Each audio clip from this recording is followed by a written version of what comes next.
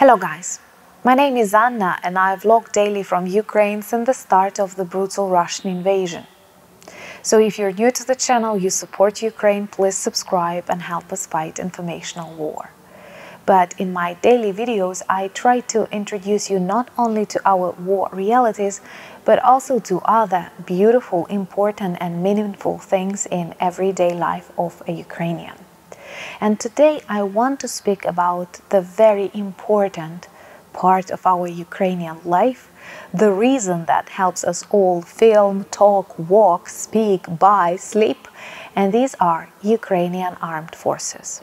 On the 6th of December, we celebrate the Day of Ukrainian Armed Forces, but I think every day that we have is the reason of their work and service. And I'm proud to be Ukrainian because we have the strongest and the best army in the world.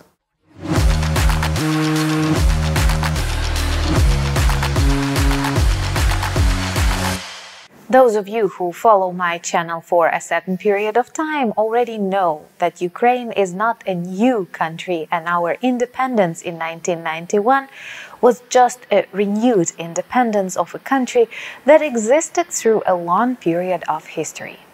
And we may say that the era of Ukrainian armed forces begins not in 1991 but actually in 1917 when Ukrainian People's Republic proclaims its independence. In 1917, Russian Empire collapses, Russian Revolution begins, and many states proclaim independence, like Ukraine, Finland, and many others and we were lucky to enjoy our independence for five long years, since 1917 to 1922.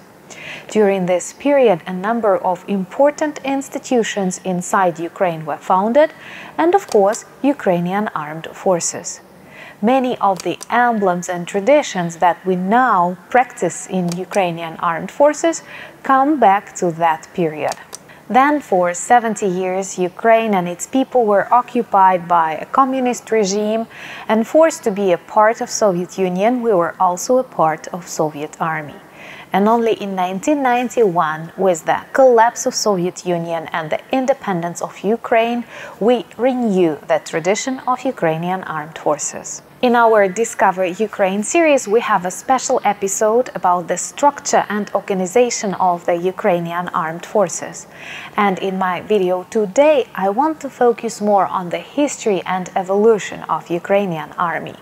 So all of that began back in 1991 with the collapse of Soviet Union and all the Soviet army units that were located on the territory of now independent Ukraine were simply proclaimed Ukrainian army. Many Soviet traditions unfortunately remained and poisoned Ukrainian army for decades. Well, first of all, people who were a part of military at the moment of the collapse of Soviet Union simply stayed in the units they were located at the moment. And it was a mixture of different people, some of whom were, of course, not patriotic towards Ukraine, because they were Russian or from many other republics of the former USSR.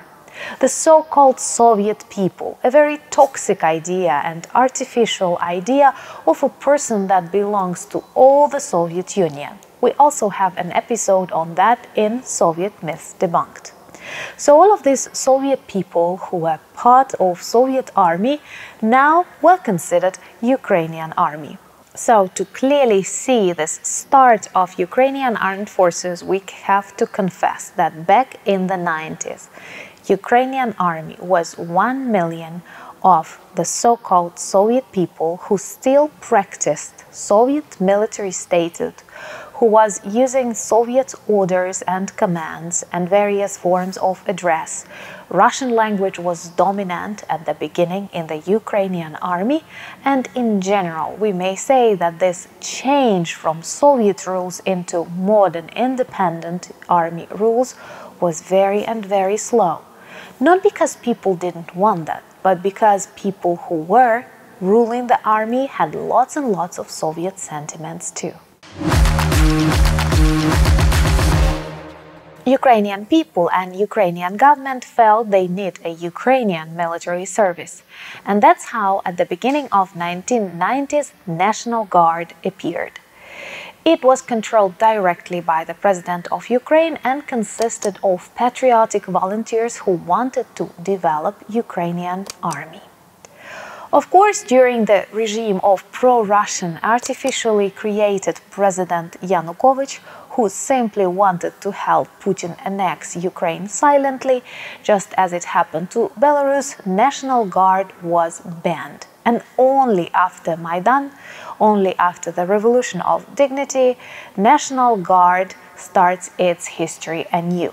Today it is an important structure within the Ministry of Internal Affairs and people who are part of National Guard actively protect Ukraine against Russian invaders. 90s and early 2000s were difficult years in the history of Ukraine. We did not have much money, and the world decided to trust Russia more than Ukraine or any other new independent republics. And that's why, together with Russia, the world was actively disarming Ukraine. And not having enough money to serve all of these weapons, we had to agree.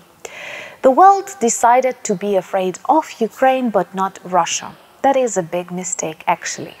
But Ukraine seemed like a dangerous country, having 1 million of people in the army and the third nuclear arsenal in the world. Yes, Ukraine possessed more than 1,000 nuclear heads, which ranks third after the United States and Russia.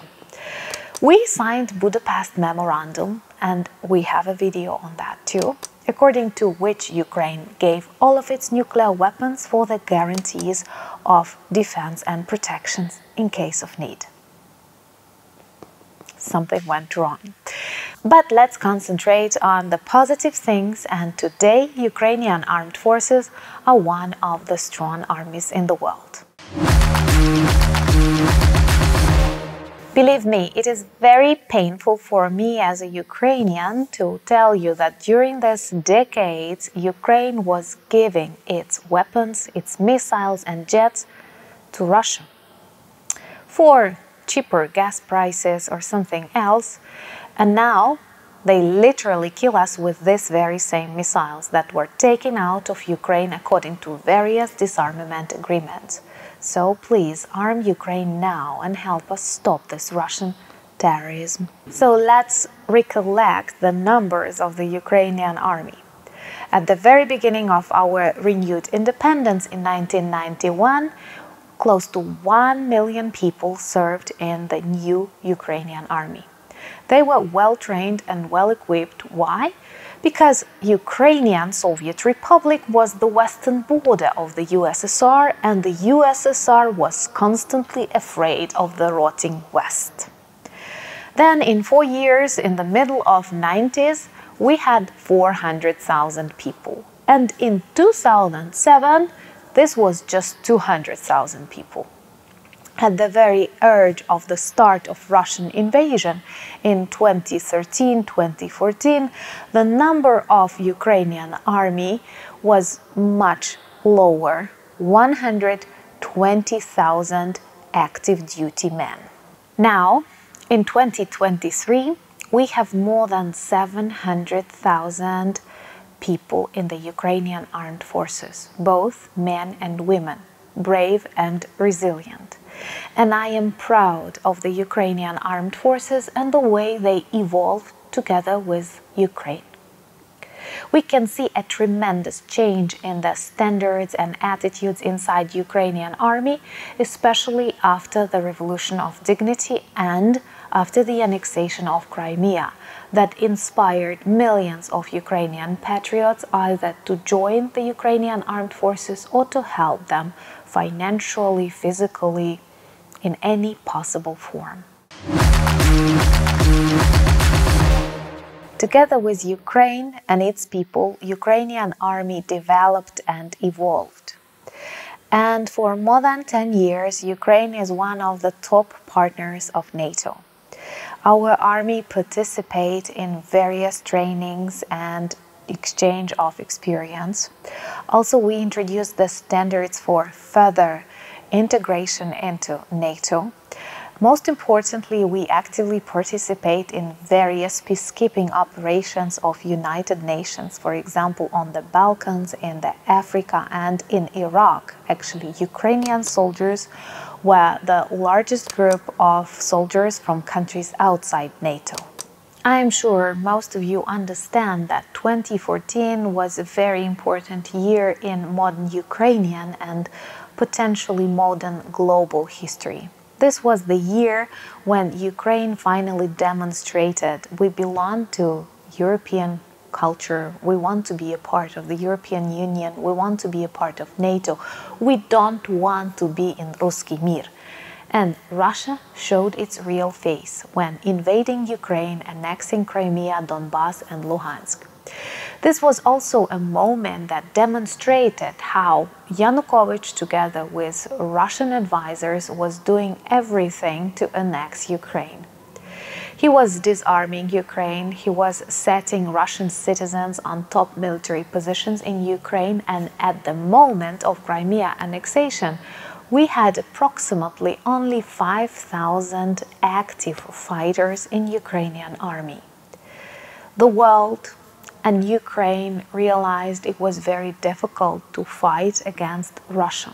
Many asked us traditionally not to escalate, and I think it was one of the hugest mistake not to stop Russia at the very start of its aggression against Ukraine. Starting from 2015-2014, Ukrainian soldiers were training a lot, together with NATO soldiers and various armies of our allies, exchanging experience, learning from each other.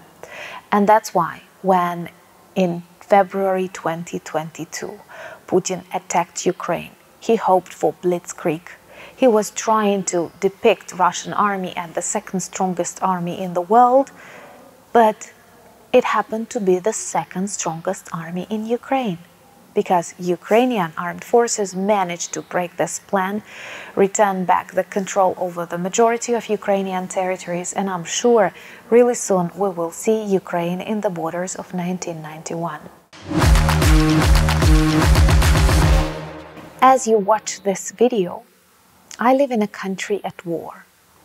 And I have an opportunity to film these videos because Ukrainian armed forces help me.